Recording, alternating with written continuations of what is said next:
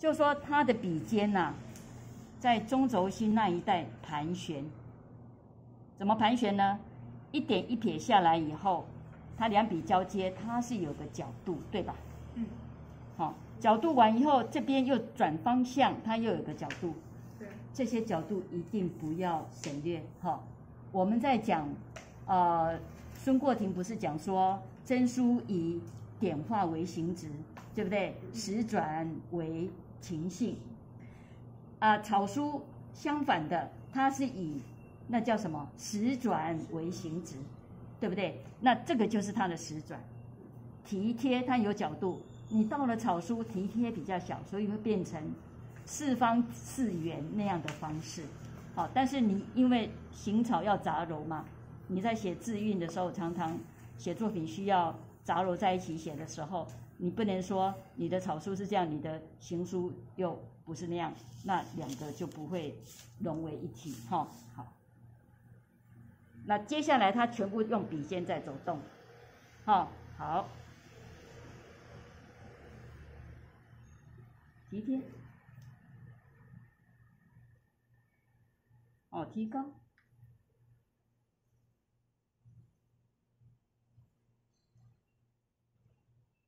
提贴，点，提贴。我刚说这个地方，哎，不要长，哈。好，这个鼓写过了，所以我想同学是没有问题的哈。好，那这个横画呢，它也是相当的、相当的斜哈，而且也带了一个是，好是。好，你看它左边带了一个勾，对不对？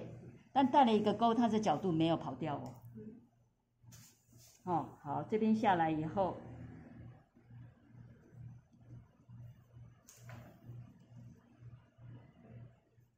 贴。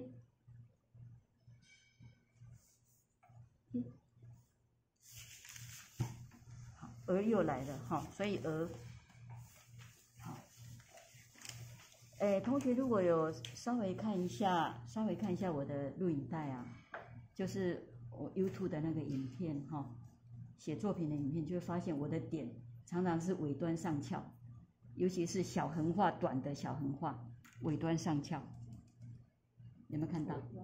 哦。好，注意刚才跟各位提醒的哈。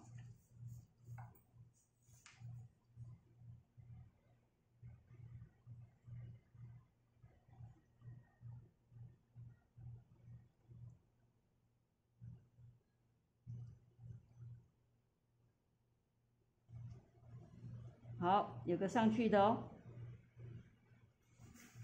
哦，直直的尾巴可以向左哈、哦。